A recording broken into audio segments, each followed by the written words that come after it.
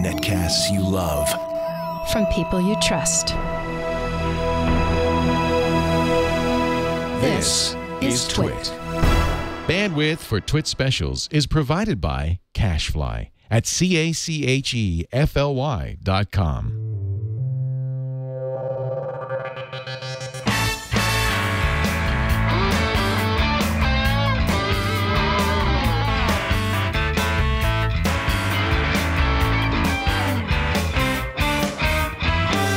Hey everybody, Scott Wilkinson here, the home theater geek and editor of avsforum.com. Now, I'm at the NAB show here in Las Vegas, National Association of Broadcasters. And you might wonder what a home theater geek is doing here at a professional trade show. I'm looking for all of the cool things that are going to affect what we see as consumers at home cameras, lenses, compression algorithms, distribution formats, all the really cool stuff that will define the next generation of television. So let's go check it out.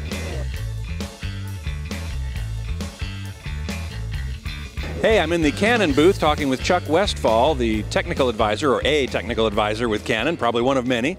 Uh, and you're showing us uh, something new in lenses.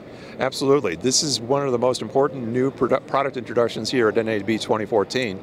It's our new Cine Servo zoom lens, 17 to 120 millimeter T2.95. Uh, and this is going to open us up to a whole set of new markets for people who are using our cinema EOS and our regular EOS cameras, as well as uh, broadcasters who are using PL mount because we have it available in both EF and PL uh, for them. Uh, so the thing that's exciting about this is the fact that that zoom range at, at 17 to 120 is going to cover the vast majority of shooting situations. Um, and uh, although we already have all of our uh, SLR lenses for run and gun, and we have all of our EF cinema lenses for the rigs, this is kind of a dual purpose lens in the respect that it can also be used for shoulder mount, and it could be used in a studio uh, with a broadcast type situation. Uh, a very, very important new lens in our lineup and you have it here mounted on a Sony camera, a competitor's camera, just to show that you can actually accommodate a wide range of cameras. Absolutely, because we recognize that uh, uh, there's a whole lot of legacy equipment out there already using the PL mount, and uh, it's very important for uh, our customers to understand that uh, we're looking to place this lens as many uh, installations as possible. Now, I'm most interested at this show in 4K, and zoom lenses such as this, obviously everything starts with the lens. Now, are you going to be able to capture a, a good crisp 4K image with this lens? Absolutely. That's one of the most important design objectives about it. Um, and we're very strongly promoting the idea that uh, this lens is perfect for 4K capture.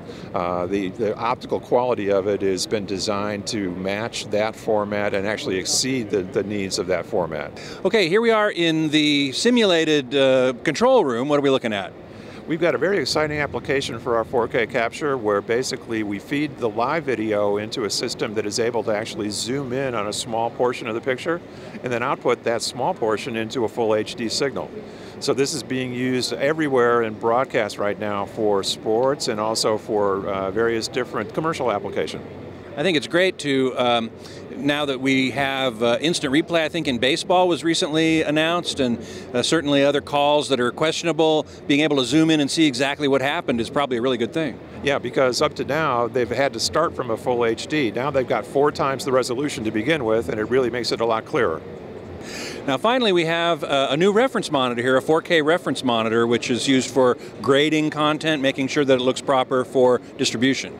Yeah, actually, this is uh, the first time now at the show that we're able to actually show the unit that's shipping into the market. We just started shipping it. Um, this is a 30-inch LCD with image plane switching on it. It's a uh, 4096 by 2560 resolution, so you've got your full 4K plus a, uh, a panel below that for your toolbar. Uh, and uh, essentially, uh, it can do any kind of color space all the way up to the DCI P3 Plus, which is the largest color space used for motion picture production. And of course, it'll do anything uh, you know smaller than that. So uh, this is the perfect uh, complement to our C500, which outputs the raw video in 4K. Looks fantastic. It's uh, getting a fantastic uh, response in the market from all the, uh, the DI companies, digital intermediates who are doing all the work. That's great. Thanks so much for talking with us. Our pleasure. Thank you.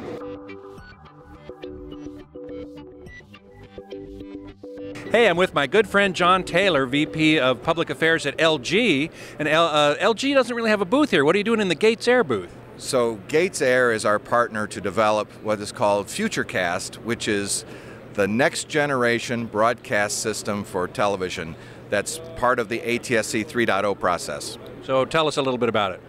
So, what we're demonstrating today is the very first time that attendees can see a um, in one 6 megahertz channel the transmission of 4K Ultra HD and two mobile streams. Wow. Now that must involve a lot of compression. It involves compression. Uh, our part of it is really the transmission layer.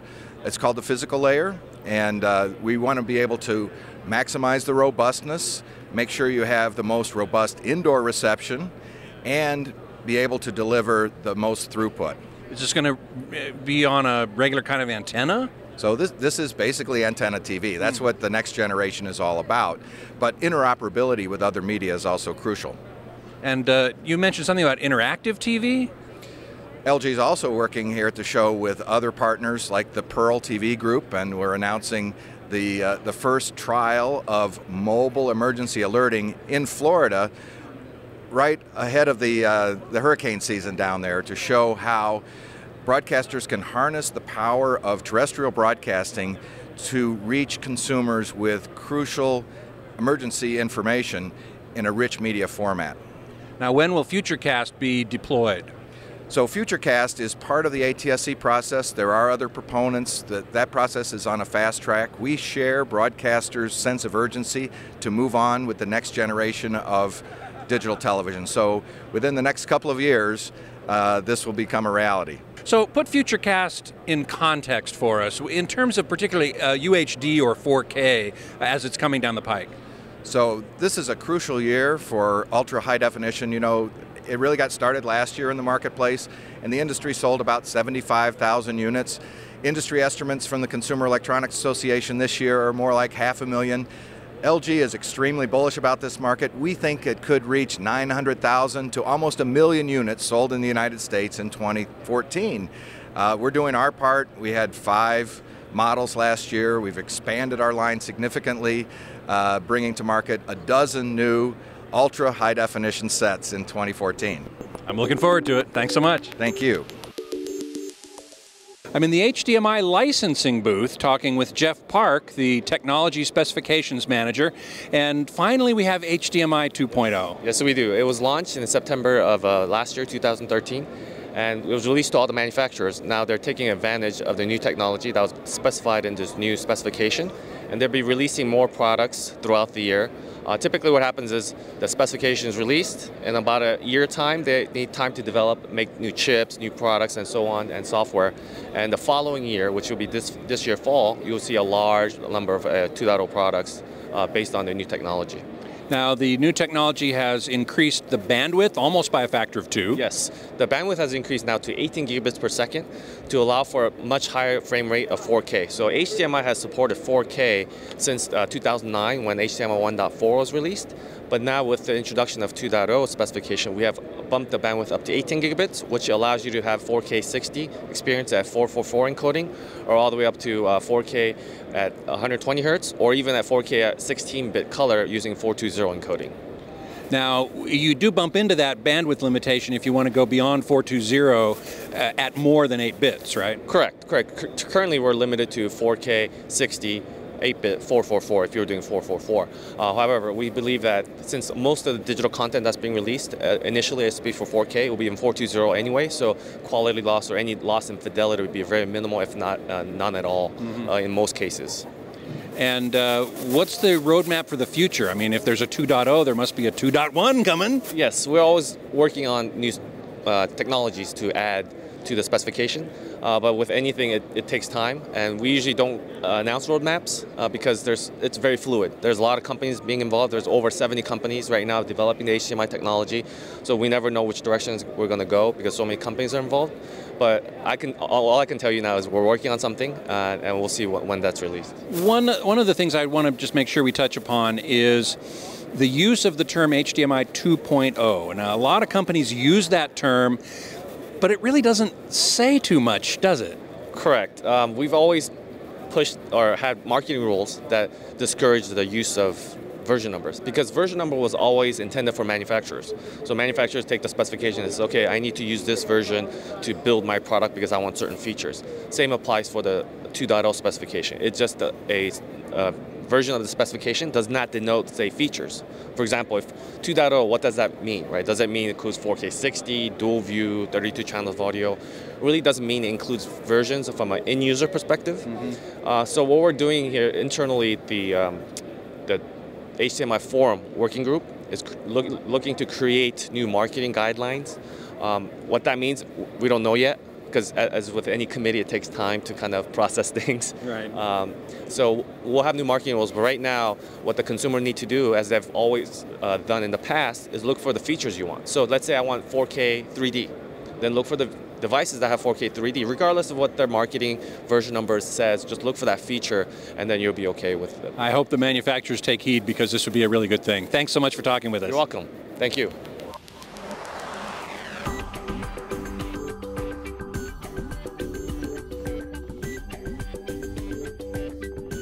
I'm in the JVC booth talking with Dave Walton, Assistant Vice President of Marketing and Communications. And Dave, there's a lot of camera news here in the JVC booth, isn't there? Lots of camera news. We have our Pro HD series here that we've upgraded and we've added to with live streaming capabilities from the GY HM890. We're doing actual live streams from California right here into the booth. It's taken off very well. Stations all over the country are buying these for ENG News. We're also showing some new technology since we acquired a uh, image sensor company a few years back. We've developed our own imager, and these are the first JVC cameras to actually feature that imager. It's a large image sensor, a CMOS device, it's super 35 millimeter, 13.6 megapixels, and we can do full 4K at 60p, or we can do HD at up to 240p, so we can do super slow motion. So it's very cool. And we have it featured in four different cameras. The first is the what we call the Elise, which is a GYLS X1. It's a large imager shoulder style camcorder that has a PL mount for cinematography and uh, it's the full, most feature rich camera and it will record full 4K up to 60p, which is very important, and it will also output live 4K signals. So it does all the debayering and everything right in the camera processor. We have a smaller handheld version of that, which does up to 30p. It's called the GYLS X2 and it's a very tiny camera and because it's smaller we decided to use a micro four thirds inch lens mount but it's in front of a super 35 millimeter sensor so we can we get the advantages of a small mount, but a large sensor as well. Now, the, the, the, smaller lens, though, still has the resolution to capture 4K. Well, certainly, and it, obviously there are so many more lenses available in that uh, micro four thirds inch realm, but and a lot less expensive than PL lenses. So. Uh, it, the, the, camera itself is targeted for a market that probably doesn't want to spend the kind of money you'd spend if you're buying all PL mount lenses. Then we also have a two-piece camera, which is a very tiny uh, 4K camera that uh, has a separate electronics unit that records and uh, I, I, also should mention that all of these cameras can stream live video, not stream 4K, but stream live HD, which is kind of important if you're going to say mount one to a drone and fly it around. Uh, we developed the gimbal for image stabilization just for that camera. So we've got a gimbal version of the camera, or as a two-piece camera, you could mount it on a boom, a crane, or whatever. But as a gimbal type camera, you can hold this uh, with handlebars, mount it on a boat, a motorcycle, or as you said, a drone and fly it around and do some spectacular things in 4K. Now that tiny little camera that can be mounted on a UAV uh, also has this cool head-mounted display controller. Tell us a little bit about that. Well, first of all, the camera can stream, so it's not going to be streaming 4K, but it'll be streaming HD. And that's over the cellular network directly to the internet. Right. Uh, or could be through a Wi-Fi network. Well, you might not have Wi-Fi everywhere, but let's say you're streaming, you need to see what's uh, going on on the camera. So we developed a little head-mounted display here that has a liquid crystal on silicon uh, display device in here, and it's mounted right to a pair of glasses. There's even a HD camera in there if you have a use for that. But this is very cool. So you can stand there and you can actually see what the aircraft sees. Can't wait to try one, man. yeah, it'll be fun. Thanks so much. Sure. Hey, I'm in the NHK booth. This is the Public Broadcasting System of Japan, and I'm talking with Hiroyuki Kaneko, who is with the PR department, and we're talking about 8K, as if 4K wasn't enough. Yeah, 8K is the ultimate 2D TV system, and uh, uh, 8K has a 16 times le- resolution than current HD TV. Which is quite a bit. Now, you're talking here at this show about actually transmitting 8K over the air. Uh, yes, we are showing over the air uh, transmission technology. At this time, we are showing live demonstration. Which is a, an antenna actually sh- uh, transmitting and another antenna receiving right here in the booth. Ah, yes. Now, to get 8K transmitted over the air requires a pretty serious compression, doesn't it? Ah, yes. We are researching on the HEVC, high efficiency video coding technology. And, and that gets you enough compression to be able to squirt it through the air like that. Ah, yes. Very good. So, in addition to 8K video, we're talking about 22.2 channel audio for the first time delivered in a home package. Tell us about it. Yeah. Here we are showing flat panel display uh, loudspeakers uh, for home use. Uh, these speakers um, can reproduce 3D audio. And you have them mounted around the frame of a large flat panel TV here. Uh, we, we're not, you're not using 22 speakers, are you? Ah, yes. This system uses only 12 speakers. So when might we expect to see this in stores? Yeah, at this time, this system is a prototype just now. So you're just using it for research right now. It's going to be a few years. Ah, yes, I hope so. Thank you so much for talking with us. Thank you. Okay, here in the Fraunhofer booth, I'm talking with Benjamin Bross, uh, project manager, about HEVC, otherwise known as H.265, the new encoding algorithm that's going to allow 4K to be streamed and broadcast uh, more easily. Tell us about it. Yes. First, you got the name and the numbers right. That's, that's impressive uh, because there are two standards and you got them both right.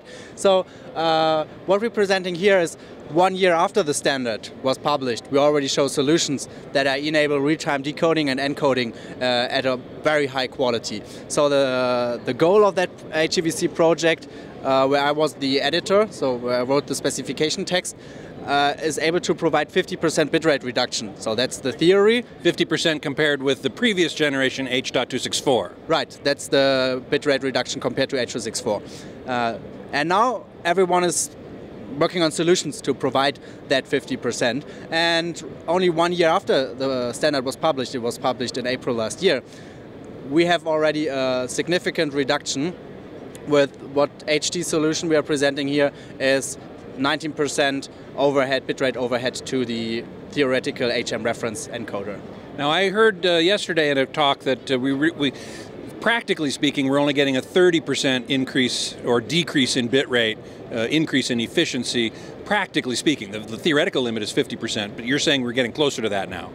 Yeah, it also depends on uh, what's your measurement and uh, what's your reference for the same quality. And the 50% is for the same subjective quality. Uh, and you have an objective quality measure, but people are watching video, so it's like for the same subjectively equal quality, half the bit rate. And uh, I think we get there in, in some years, so it's not like we will end up with 30. I think give us one more year or one and a half more years, and we, we give you the 50. That's. I'm looking forward to it. Yeah. Thanks so much. Thanks, God. Also in the Fraunhofer booth is a very interesting camera rig called a light field camera. And I'm talking with Siegfried Foessel about it. Uh, what can you tell us? Yeah, typically you have only one camera where you capture the scene. We are capturing the scene from different point of views, and uh, with this approach you capture the complete light field of a scene, not only one specific uh, view, and then you can, uh, in the post-production, uh, make different special effects out of it. You can refocus, for example, the image. You can also virtual make a virtual camera movement uh, and also make some vertigo or dolly effects, which you can typically only do by mechanical movement of cameras. Now, will this allow uh, end users to manipulate the image, or would you not want that to happen? Our approach is first for more the professional uh, guys, means for the entertainment industry. Uh, for the end consumer, it's more uh, like uh, something like plenoptic cameras. We also investigated this, uh, but uh, the problem with uh, the optic cameras is that you have a micro lens array in front of a sensor, and you have only a very limited uh, uh, variation in point of use. That's the reason why we created this camera array, uh, and uh, you can also make it uh, even larger, and then you have more options to differentiate in the point of use. Would it also allow 3D reproduction? Sure. So, as I said, you can make a virtual camera out of this camera array, and you can also do two or more cameras as virtual cameras. And this allows you uh, also to change the baseline of three uh, virtual 3D camera setup. That means uh, uh, you have not to make uh, all of the adjustments uh, on the set. You can do this later in post. Fantastic. Thanks so much. Okay, you're welcome. Finally, a moment of respite. We're inside a sound isolation booth in uh, the Fraunhofer IIS booth at NAB, and I'm talking with Stefan Meltzer, a um, technology consultant here for Fraunhofer. And uh, you've got some pretty big news at the show, don't you? Yeah, we have uh, some interesting news about immersive audio and uh, the inductivity you can use with MPEG-H 3D audio. It's a new standard coming up from MPEG. and we also, for people who are not able to put all the number, high number of speakers in their living room, we have a sound frame behind you, uh, which allows you, like a soundbar today, to give immersive 3D audio to consumers. Now, uh, this is a somewhat adaptive technology, as I understand it, where it's is it channel based or is it object based? It's a combination of both. Mm. So what we do is we have a channel bed for the ambience, and on top of this we have objects for the uh, dialogue or for special effects or for optional additional uh, commentary. Like in a car race, you could imagine that you have the commentary normally, and in addition, you can select the team radio of your preferred driver. This kind of uh, additional interactivity and personalization for the user at the end. Now, is this going to be part of the ATSC 3.0 broadcast standard? It might be. We're proposing it to ATSC, and we will see how the selection will go. And then this uh, sound bar, it's not really a sound bar, is it? It's uh, But it's uh, simulating a surround sound with a just a few speakers around the TV. It's, uh, it's not simulating surround sound, it's simulating the 3D uh, sound, so immersive audio. And so that's maybe, let's say, an extension of the soundbar to a sound frame. So when do we expect to see this uh, implemented in consumer products? So this is a prototype here, what we where we show the concept, and uh, up to now we have quite positive response from people listening to it. So the quality is very nice, and now it's up to the consumer electronic manufacturers to to take this up and, and use this. The problem we have nowadays with audio on TVs is that the TV is getting thinner and thinner, so people start using sound bars to compensate for this. And if you want to go really to the immersive audio part, then we would like to show this uh, sound frame as the new uh, way forward for the audio. Great. Thanks for talking with us. You're welcome. Here in the Panasonic booth, I'm talking with Carl Demands, the product manager, one of the product managers here at Panasonic Pro. Uh, and one of the three things we're going to look at today is this ultra short throw projector that's uh, being displayed right here behind us within a rock wall. What can you tell us about it? Uh, it's actually one of the greatest products that we have here at Panasonic. It's an 8500 ANSI lumen WUXGA projector that has an le interchangeable lens that is the world's shortest throw lens, 0.038 throw distance, which means you can project a 150 inch image in about four feet of throw distance. What we've done here is taken it one step further. You're taking an incredibly bright 8500 ANSI lumen, hanging a second projector, mapping it directly over the first, and doubling the bright out brightness output. So it can compete with the showroom floor pretty easily. Oh, absolutely. Showroom floors, uh, house of worship type applications, uh, rental and staging applications where you want the people to get up and close to the image, be able to touch it without blocking the overall, curating the shadow effect of blocking the uh, projected image. Okay, here we are over with the laser projector. Tell us about this. I've always been very interested in laser projectors, and they've been somewhat impractical, I guess, until now. Oh, that, that's for sure. Actually, one of the greatest limitations in projection technology is the fact that, you know, once every six months or a year, you have to get up there and replace a lamp. Well, the new laser technology means that we have a lamp-free projector uh, available to the market. You're talking something that runs about 20,000 hours without having to replace any filter, any lamp, anything at all. Now, at 20,000 hours, it's not a product you want to get rid of. It's still going to look good for you. It's just not going to be as bright as we would want for the spec. Now, this is for commercial installations as well, right? This is for commercial installations, but we also see going into a variety of other uh, unique applications, such as sports bars. Uh, here's folks that really want to create bright, beautiful, spectacular images, uh, and the continuous operation really saves them from having to, you know, get a guy on a ladder every six months to replace a lamp. Do we have uh, a brightness spec on this? Sure, it comes in at 6,000 ANSI lumens. Uh, basically, it will support uh, a number of different inputs, including HDMI, DVI, DisplayPort, and actually Digital Link, which allows you to uh, push full 1080p content with audio and control over a single Cat6 cable to really simplify your installations. And what's the native resolution here? Native resolution on this projector is WUXGA 1920 by 1200, but also will come with a WXGA model 1366 by 768. Can't wait to see one in the home. Oh, they're going to be great. And finally, we come to this fabulous panel here, uh, Ultra HD, right? That's correct. Actually, it's 98 inches of Ultra HD. Incredible in image quality, true 4K. What you see is native 4K content being displayed on a panel that basically is 500 nits. It's ruggedized for commercial use. One of my favorite demos would be try that with the consumer set. I would not. But fundamentally, we're trying to bring it into the commercial world for where you want to really have great detail, great contrast ratio, actually world-class uh, contrast ratio coming out of a full 4K panel. And 10-bit panel, I believe, right? 10-bit video processing. We actually have, the spec is not yet quite finalized on it yet, but world-class contrast ratio higher than what you would see out of most native panels of its kind. I don't suppose there's a price tag on it yet, is there? Not yet. Come back to us around September timeframe and we'd be more than happy to quote it for you. I'll be here. Thanks so much. Thank you very much.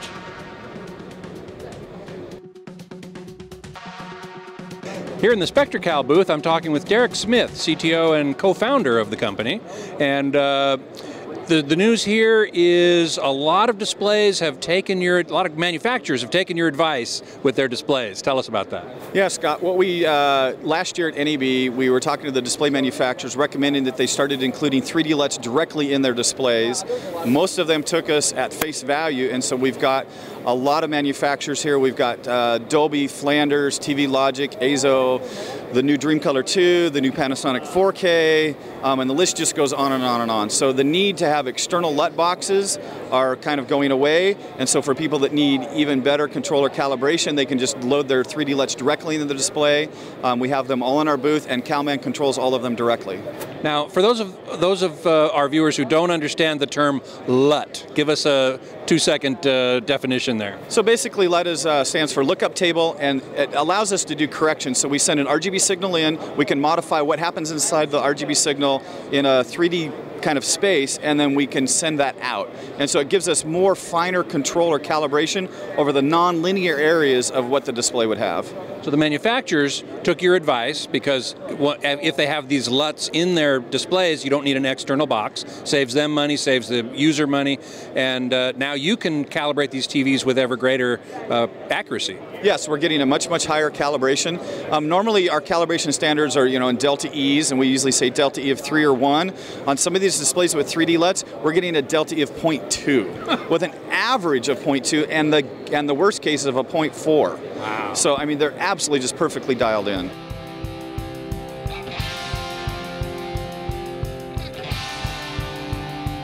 I'm talking with Geir Skaaden, Senior Vice President at DTS, and uh, DTS Headphone X is really taking off, isn't it?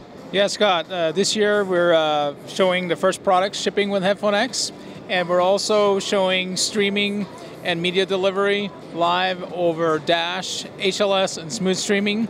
And together with partners like NexStreaming and castLabs, we're showing next generation video players.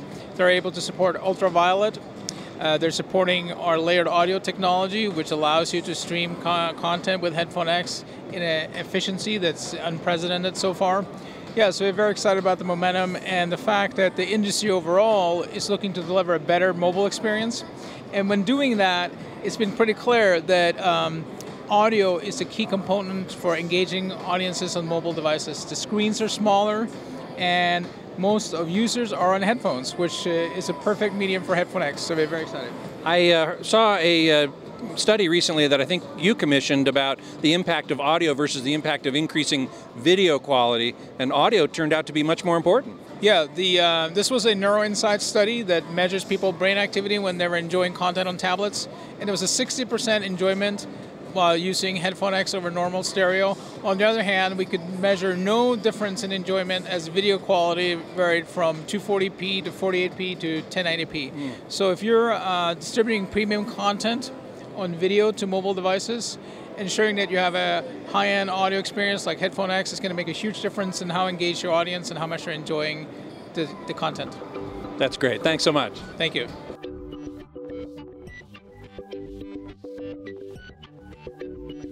Here in the Christie booth, I'm talking with Don Shaw, Senior Director of Product Management. And Don, I understand there are some new developments in the world of digital cinema. Hi, Scott. Absolutely. Among the various Pro AV stands we have here at the Christie booth, one thing we're really proud to bring to NAB in the Christie Innovation Theater is a six primary laser projection system. Now, wait a second. I thought there were only three primaries. Yeah, that's a great question. So, for six primary 3D, what you actually have is uh, one projection system with one set of RGB primaries for your left eye, then a slightly different set of RGB primaries for the right eye. The primaries themselves have a 20 nanometer separation between them, so you can use Dolby 3D glasses, specially tuned Dolby 3D glasses, to filter out the image for the correct eye. Right. This is the other 3D type uh, besides polarization. Yeah, it's totally different than polarization based 3D. And what we're showing in our innovation theater is just how much more efficient this is than polarization based 3D. So with 6P 3D, we can actually produce over 40% efficiency versus somewhere in the mid 20s range with the best solution available today with xenon lamps. And this is with laser illumination as well. Absolutely. So it's really bright. No problem for us to produce 14 foot Lambert 3D on any size cinema screen. Now, um, also uh, at Christie for the last couple of years, you've been showing high frame rate, and that's, I assume, also in there as well. It's all part of it. We've got a, a high frame rate demo in our booth as well. So coming through the laser projector, we have a special trailer from The Hobbit, Desolation of Smaug, and we're screening that at 14 foot Lambert's brightness, 48 frames per second frame rate. That's. It, it, I bet you it sounds. It looks beautiful. I can't wait to go see it. Uh, when do we expect to see laser projection deployed in commercial cinemas? We'll be shipping laser projectors to commercial cinemas this year. And they're 4K resolution, right? Absolutely. Now, what about dynamic range? Or, or, with lasers, are you able to uh, increase the dynamic range that you see on the screen? Lasers offer a lot of opportunities for dynamic range. I mean, for one thing, you can build higher contrast projection systems, you have wider color gamuts, and we're working in our labs right now with, uh, with other industry partners on high dynamic range solutions for cinema. Can't wait to see it. Thanks so much. Hey, we got inside the Christie Theater before the next showing of the demo, and I'm talking with Patrick Artiaga, the Director of Business Development here, about a new sound system from Christie. Now, Christie, everybody knows is a projector company. How'd you get into audio? Well, the uh, aspect of our audio development has taken place probably the last four or five years, kind of taking our, our technology aspects and looking at audio solutions from a whole new perspective. Uh, some of the key things we've developed is our ribbon driver technology, with our own line array and also the introduction of Class D amplifiers. So taking these three critical elements and putting together a complete audio system for both cinema application and non-cinema applications. And, and they're line arrays, there's no horn tweeter to be found. Correct, correct. Uh, one of the unique elements of this is taking all the benefits of, of a line array philosophy design concept, but developing it as a single enclosure. So hopefully this helps in, in installation benefits and also long-term operation of its use in a cinema or non-cinema application. Well, certainly the line array gives you good controlled vertical dispersion and wide horizontal dispersion, which would uh, seem to me to uh, be very good for imaging within the entire theater. Absolutely, and it works perfectly in a cinema application. You know, one of the challenges in, in line arrays in cinema has been how to meet that horizontal and vertical coverage demands, especially with cinema application, very large format auditoriums. We've done this with cinema in mind. So we're making sure our, all of our line arrays have 120 degree vertical, uh, excuse me, horizontal coverage, and then each line array has a different vertical coverage based upon its, its environment use. So ranging from a 30 degree vertical all the way up to our larger system, which is a 50 degree vertical. And the uh, one other thing I wanted to mention was that your surrounds, unlike most theaters where you have a whole wall of surrounds, a line of surrounds across the side, uh, we only have two surrounds in here for a 5.1 system. Correct. So what we've done and giving our customers an option, instead of having a traditional distributed surround array, we've used our especially screen channel arrays and put them in the rear, left rear and right rear. Still gives them that great 5.1 experience, but allows that customer to have that option. Save a little money on installation costs, and you don't have the arguments with the architect about where the light sconce needs to be versus the surround speaker. Now, one last question. Uh, you, you, mentioned something about this possibly becoming available for home use. Absolutely. I think within Christie being an entertainment solutions company, we definitely have aspirations to taking this great benefit from cinema and bringing it into the home. So uh, hopefully we can bring a little bit of Hollywood to the home in the years to come. I look forward to it. Thanks so much. Thank you. Thank you. Okay, I found something about HDR, high dynamic range, a subject of great importance to me because I think it really improves the quality of the picture. I'm talking with Alan Chalmers, uh, the Director of Innovation at Go HDR, an offshoot of the University of Warwick and the research that you've done there.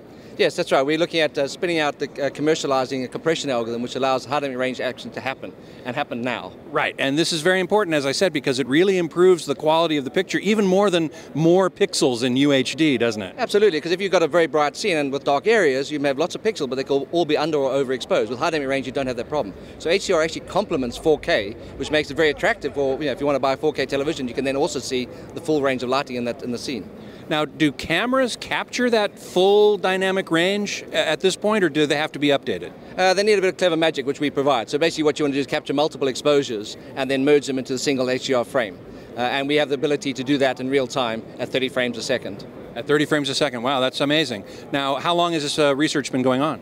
We've been going for about 10 years, I guess, research. The company spun out about five years ago. Uh, we were way ahead of the market, and only now people are realizing what benefits HDR could have. And that's where we're looking at now, actually commercializing it and, and taking it further from there. Now, I'm really interested in this head-mounted display. What's this all about? This is the future, because we want to combine, now we can capture the real-world lighting. We want to actually use it in, in a multi-sensory experience, whole virtual experience. So once you've got the high range into the, to the visuals, we can also add smell, 3D sound, feel, etc. So you can have the full experience of life uh, authentically because you've got the high dynamic range video there as well. Can't wait to try that one out. Well, we have to wait a little while, maybe a year. We should be ready with this. So we're working on it. As part of our now we've got the real full HDR pipeline. The next step is to put it into some more sort of, yeah, interesting products as well. Thank you. Thank you. Hey, I ran into John Hatchett here with Go HDR, and uh, tell us about how it is that you can capture high dynamic range with current camera technology. So a lot of our work is to do with using commodity cameras like you see behind me to capture high dynamic range rather than expensive prototype systems. And we have previously built a dual camera system out of Canon 5Ds, but the drawback of using two cameras is the parallax issues you gain. So now we're moving towards single camera solutions. Now, before you get there, uh, the two camera solution, you're shooting one of the cameras uh, at one exposure and another camera at the different exposure? Each, each camera is doing two separate exposures, and we're merging four exposures to make a frame at 30 frames per second. Um, our future systems will hopefully look at um, using one camera at a much higher frame rate to gain four or five exposures at 30 frames per second. But the problem with one camera is, is uh, something called ghosting. So yes, at the moment our current cameras are running at 60 frames per second, merging three exposures, which gives you quite a large amount of ghosting per frame. But this is obviously something I feel we can eliminate in the future and come up with a much more seamless view. With a very high frame rate? With a very high frame rate, yes. Well, good luck to you. Thank you. Here in the Dolby booth, I'm talking with Chilla Anderson, the Senior Product Marketing Manager at Dolby, and uh, we're talking about Dolby Vision, and there's some big news today regarding Dolby Vision, the high dynamic range technology that I'm incredibly impressed by.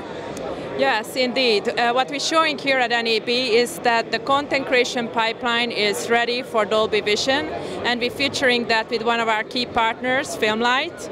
The Baselight color grading tool has been known for a high-end color grading, as a high-end color grading system. So what we show is how to create content in Dolby Vision, supporting Dolby Vision in the Baselight tool. And so soon, hopefully, we will actually see content graded for Dolby Vision. Then we need displays that will show it. And we know at CES, Vizio showed some TVs. Uh, do you have other TV partners that will expect to see Dolby Vision implemented?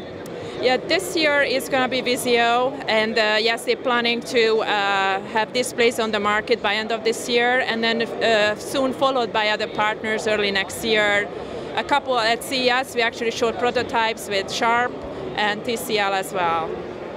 Well, this is wonderful news to know that the production pipeline is now in place because you can have these high dynamic range TVs, but if you only send them what is currently available, it's not going to take full advantage.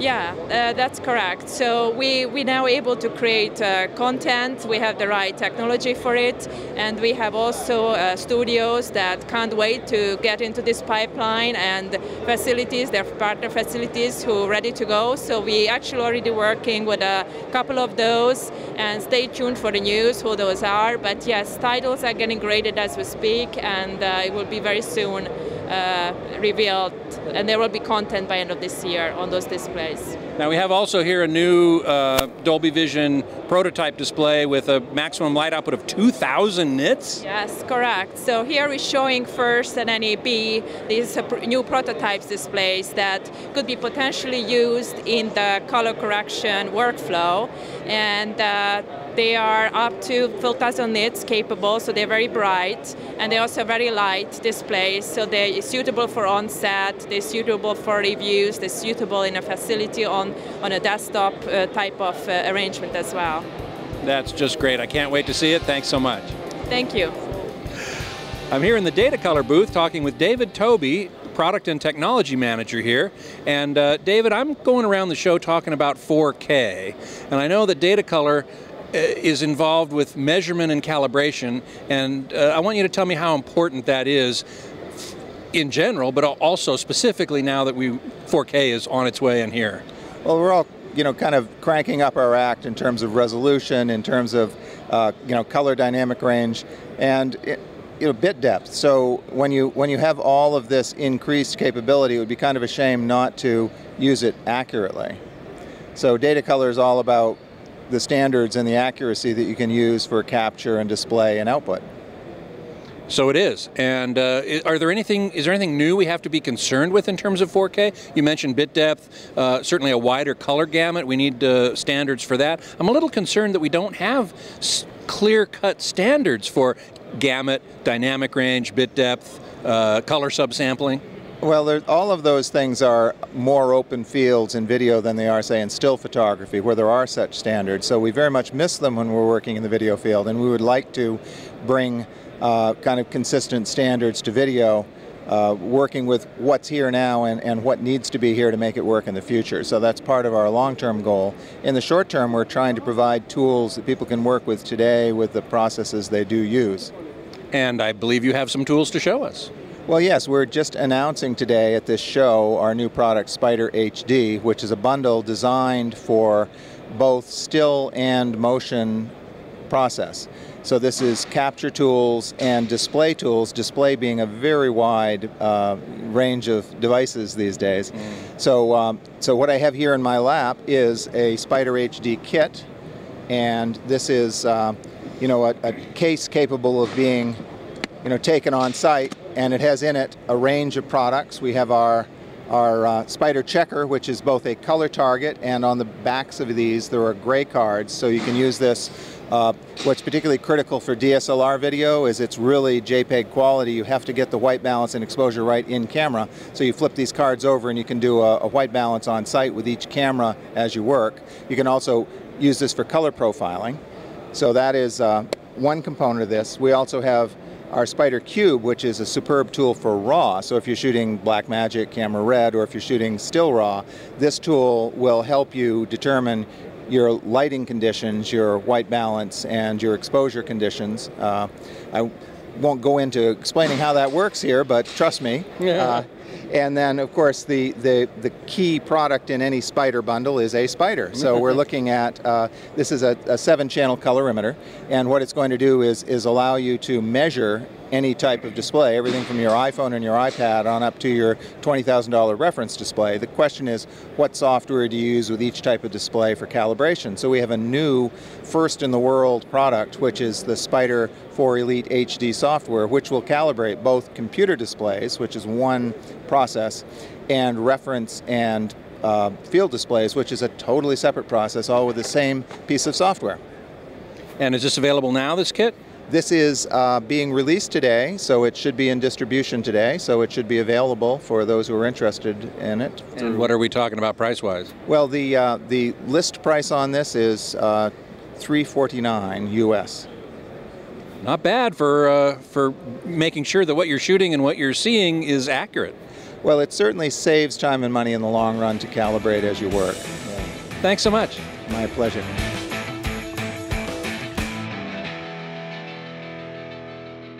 Okay, here in the Sony booth, I'm talking with Mark Weir, the Senior Technology Manager at Sony Digital Imaging. And the big news at the Sony booth is the uh, is this camera you're holding right here in your hand. Tell us about it. Yes, this is the Alpha 7S. This is our latest full frame interchangeable lens digital camera.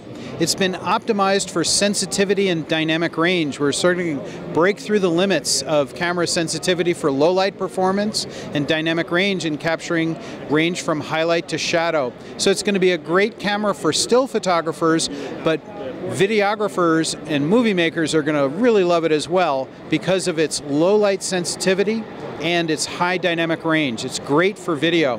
Not only that, but you're going to be able to shoot 4K. Absolutely. It becomes one of the only cameras ever made that can capture 4K video on a full frame image sensor. So if you even though the camera is very small and light, you can see inside that we use a full frame image sensor, um, about twice the size of the image sensors that even very high-end professional interchangeable lens video cameras have. But the real story of the Alpha 7S is its wonderful low light capability and wide dynamic range. We've what uh, what kind of dynamic range are we talking about? How many stops? We haven't spec'd it yet, but if you can imagine the pixel size of a full frame image sensor with just 12 megapixels 8.3 megapixels used for capturing 4K video, you can get a pretty good idea of the range from highlight to shadow that this camera can, uh, uh, can realize. Additionally, we've also used the high sensitivity of the camera to really improve the AF performance. This camera can autofocus in light as low as minus 4 EV, almost in complete darkness. So uh, it's going to be really uh, offer some breakthrough performance. We have the 4K recording done on an external recorder. We can record high bitrate full HD video internally, but we intentionally go to an external recorder for 4K so that we can maintain the small and compact size of the camera. Indeed, it's the world's smallest and lightest interchangeable lens full frame camera. Okay, so you can see it set up here with a production rig. We're using a Zeiss CP Prime 85 millimeter lens designed to operate with a native lens mount, a matte box. We have uh, XLR input audio, but the star of the show here is the new Atomos Shogun 4K external recorder. It's one of the very first available that can record 4K from an HDMI input. So we're taking HDMI output of the camera, we're outputting 422 4K video, and it's being recorded right here on the external recorder. So as you can see, you have a very compact, high performance camera that appeals to still photographers, but yet is flexible and extensible enough to appeal even for video production. And when will this be uh, released and how much will it cost? Well, unfortunately, we haven't announced the pricing or the timing, but I, I'm sure most everyone will imagine that it'll be coming to market pretty soon. Thanks so much for talking with us. Thanks so much.